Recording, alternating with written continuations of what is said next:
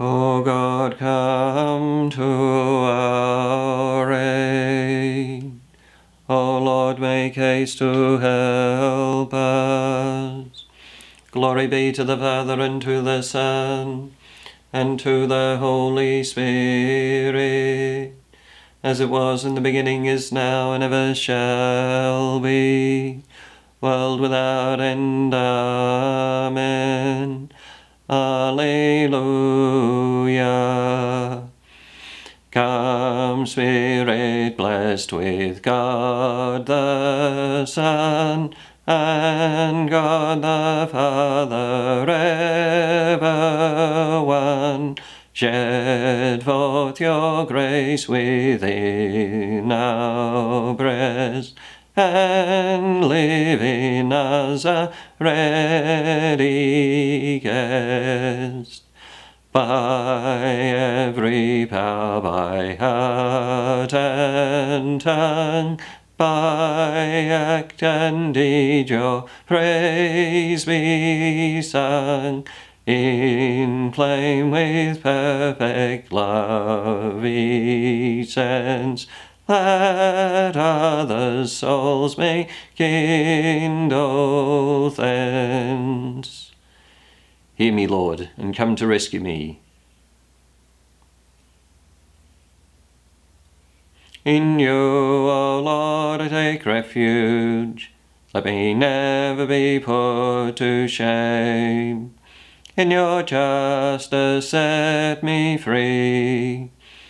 Hear me and speedily rescue me. Be a rock of refuge for me, a mighty stronghold to save me. For you are my rock, my stronghold. For your name's sake lead me and guide me. Release me from the snares they have hidden. For you are my refuge, Lord. Into your hands I commend my spirit. It is you who will redeem me, Lord. O God of truth, you detest those who worship false and empty gods. As for me, I trust in the Lord. Let me be glad and rejoice in your love.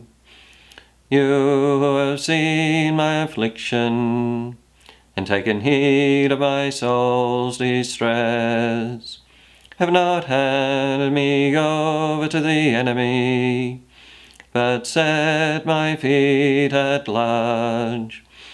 Give praise to the Father Almighty, to his Son, Jesus Christ the Lord, to the Spirit who dwells in our hearts, both now and forever. Amen. Hear me, Lord, and come to rescue me. Lord, let your face shine on your servant.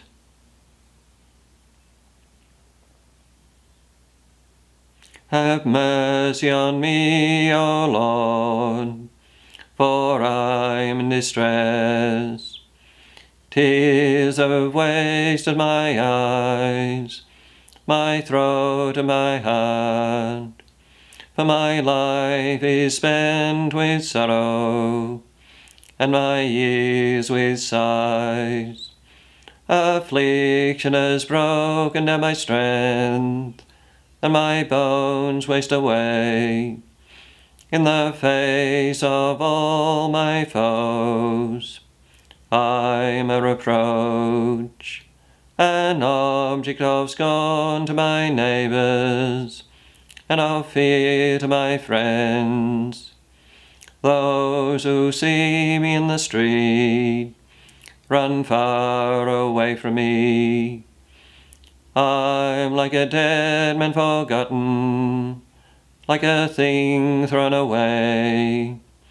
I have heard the slander of the crowd. Fear is all around me, as they plot together against me, as they plan to take my life. But as for me, I trust in you, Lord. I say, You are my God. My life is in your hands, deliver me from the hands of those who hate me. Let your face shine on your servant. Save me in your love. Praise the Father, the Son, and Holy Spirit, forever and ever. Lord, let your face shine on your servant. Blessed be the Lord, who has shown me the wonders of his love.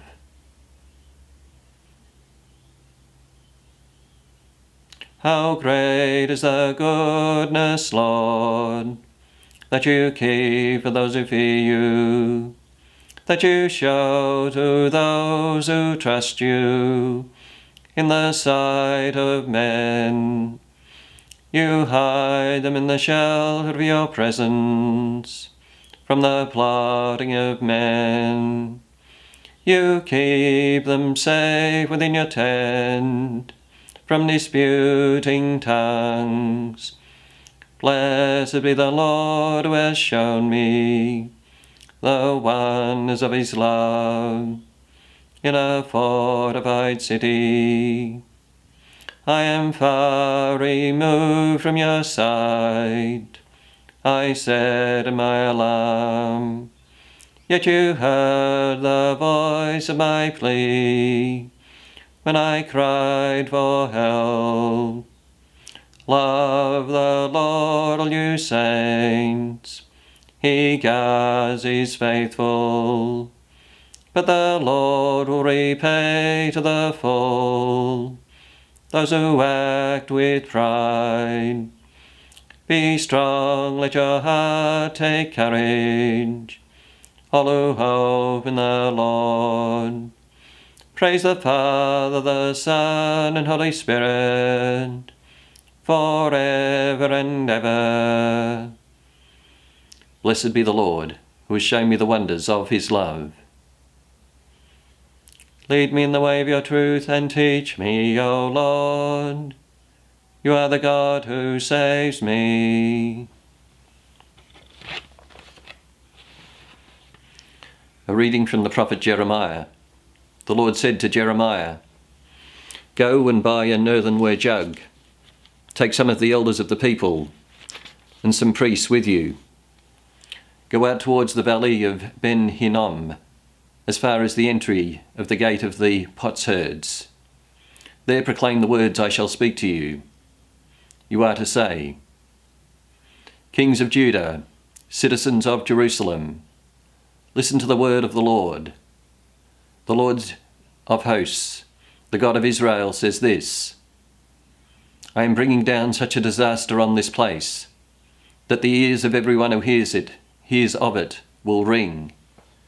This is because they have abandoned me, have profaned this place, have offered incense here to alien gods, which neither they nor their ancestors nor the kings of Judah ever knew before.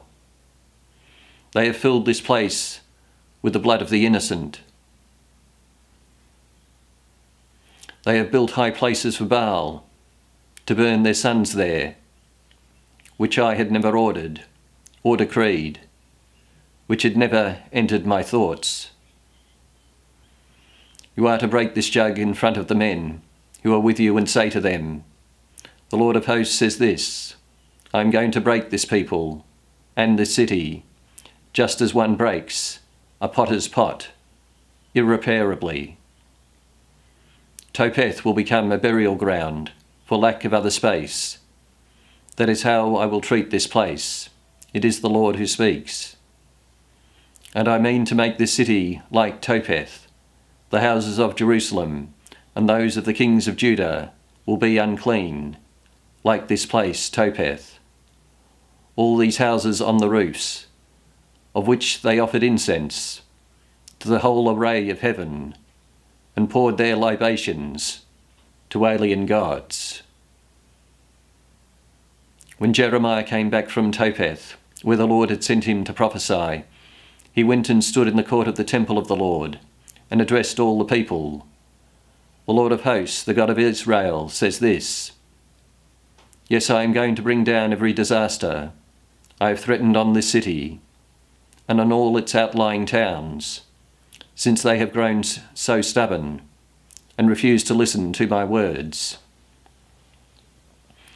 Now the priest Pashur, son of Immer, who was in charge of the police in the temple of the Lord, heard Jeremiah making this prophecy. Pashur had Jeremiah the prophet beaten and then put in the stocks at the gate of Benjamin, the upper gate, leading into the temple of the Lord. Next day, Pashur had Jeremiah taken out of the stocks. Jeremiah said to him, Not Pashur, but Terror is the Lord's name for you. For the Lord says this I am going to hand you over to Terror, you and all your friends. They shall fall by the sword of their enemies. Your own eyes shall see it. The whole of Judah too, I will hand over to the king of Babylon. He will carry them off captives to Babylon and put them to the sword. And all the wealth of this city, all its stores, all its valuables, all the treasures of the kings of Judah, I will hand over to their enemies, who will plunder them, round them up, and carry them off to Babylon. As for you, Pashur, and your whole household, you shall go into captivity, you shall go to Babylon. There you will die, and there be buried, you and all your friends, to whom you have prophesied lies.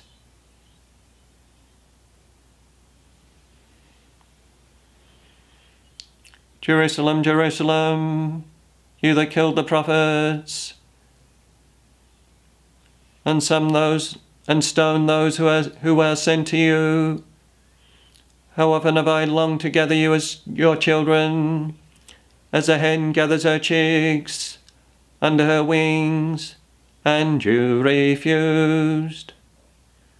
You have grown stubborn and refused to listen to my words.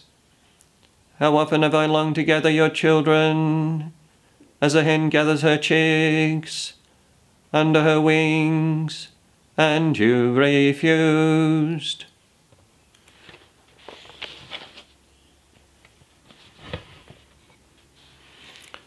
A reading from the homilies of St. Bede the Venerable. This blessed harbinger of the Lord's birth, teaching, and death, displayed against his foes a valour worthy of heaven's regard, as the scripture tells us. Although he suffered torments in men's eyes, he has a sure hope of immortality. Accordingly, we celebrate the day of his birth with festive joy, for he made it sacred to us by his own suffering, made it resplendent with the brightness of his blood. Justly do we honour, with spiritual joy, the memory of the man who stamped with the seal of martyrdom the witness he gave on the Lord's behalf. Without doubt, Blessed John the Baptist endured the chains of his prison and laid down his life in witness to our Redeemer, of whom he was the forerunner. His persecutor did not order him to deny Christ, but to be silent about the truth. Nevertheless, he died for Christ. For as Christ himself said, I am the truth. In shedding his blood for the truth, he therefore certainly did so for Christ. By his birth before Christ, by his preaching and baptizing, he bore witness to him, who was to be born, to preach and to baptize. So too, he prefigured by his suffering the passion of Christ. This great man, then, after the long agony of captivity, ended his life on earth with the shedding of his blood he who preached the freedom of, of heavenly peace was thrown into chains by wicked men. Who came to bear witness to the light, who was deservedly called a burning and shining light by Christ, the light itself was imprisoned in darkness. He was granted the privilege of baptizing the Redeemer of the world, of hearing the Father's voice above him, of seeing the grace of the Holy Spirit coming down upon him, was given baptism in his own blood.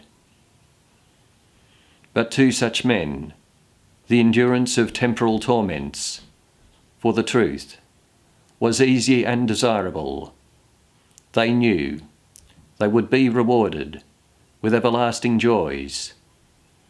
Death being near and inevitable in the course of nature, the martyrs deemed it desirable to accept it for the profession of Christ's name and to gain the prize of everlasting life.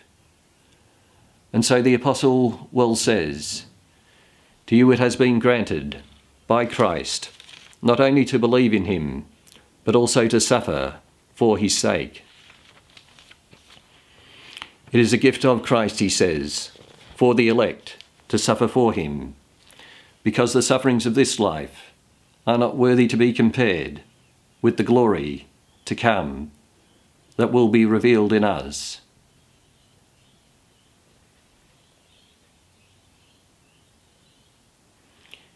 King Herod ordered John's arrest and had him chained and put in prison. Herod did this because of Herodias, whom he had married, even though he was the wife of his brother Philip. The king sent off a guard and had John's head cut off. In prison, Herod did this because of Herodias, whom he had married, even though she was the wife of his brother Philip.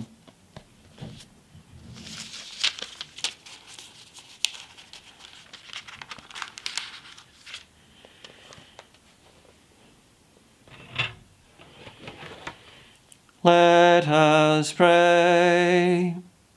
God our Father, you appointed St. John the Baptist to be the herald of the birth and death of Christ your Son. Grant that as he died a martyr for justice and truth, so we also may, be, may courageously bear witness to your word. Through our Lord Jesus Christ, your Son, who lives and reigns with you in the unity of the Holy Spirit, God, forever and ever. Amen. Let us praise the Lord. Thanks be.